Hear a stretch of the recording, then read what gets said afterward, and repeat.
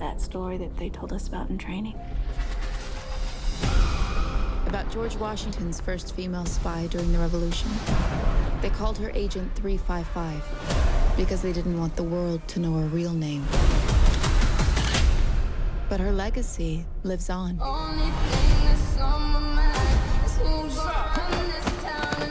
We're the top agents from around the world American, British, German, Colombian, Chinese. But now we have a common enemy. They can start World War III from simple reach of their keyboard. So we need to join forces.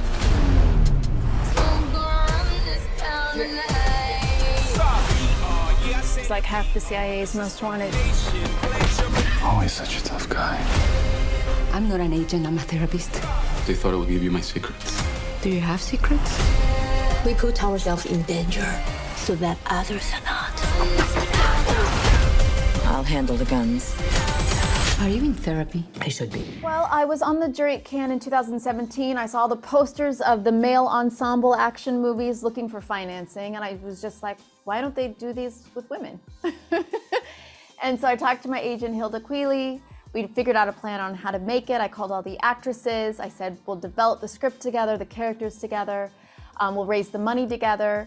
Um, we'll make it outside of the studio system independently. We'll make it for a fraction of the cost of what it normally makes and all of the actresses are going to be the owners of the movie. And that's what was exciting to me. I felt like the film had never been done before in terms of like taking women in espionage incredibly seriously and not making it cute or like a joke.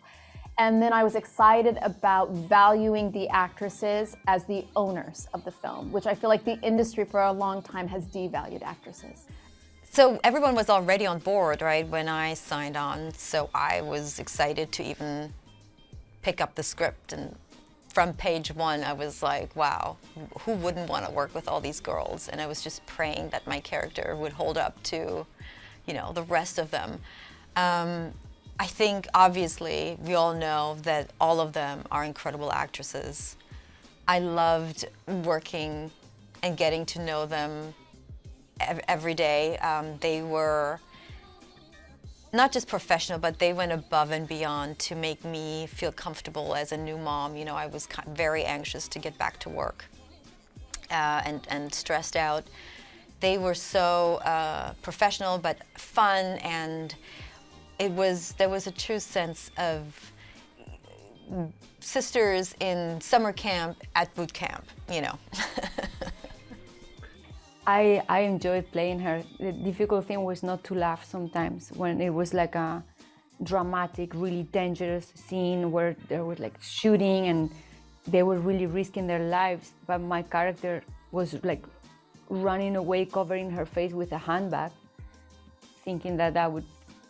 But it's like a reaction that you do out of fear. But to, to be able to, to have those things in a movie like this, that takes itself seriously, but not too seriously. I think it's the script is smarter because of that.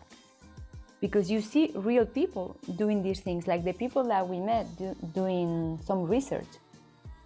See, they are they are real. They are they, they have families. They have they also have fears. They have vulnerabilities. So to be able to show also that part of the characters, even if they are great at what they do. Jessica Chastain called me um, after uh, we had worked together a few years prior and said, I'm putting a project together um, and uh, literally a team of, um, of actors, and uh, we're going to do this movie um, my way, our, our way, sort of, and, and approach it from a real creative kind of um, perspective uh, and there's a role in it and you should take a look at it and I did and I, I saw who was involved and who I would get to play opposite of and the rest was pretty much a no-brainer. Yes, our consultant on our film um, is, works in espionage and um, she told me that between female spies nowadays, they use the moniker 355 as a badge of honor. And 355 was a secret code name for the first female spy during the American Revolution who worked um, for George Washington. Her real identity is unknown to this day. Um, but women in espionage use that moniker, the 355, as a badge of honor and a way of acknowledging this woman, acknowledging all women who have done the work in the shadows to keep us all safe. And I wanted to honor them as well. You're the best in the world at what you do. You have cameras in your jewelry, comms in your earrings. You bump, I grab. The target is on the move.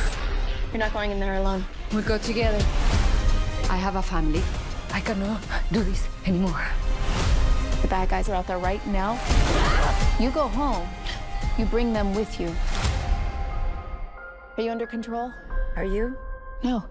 Black cars, all black, everything. I've got four more agents out on the street. I counted six, but thanks for the tip.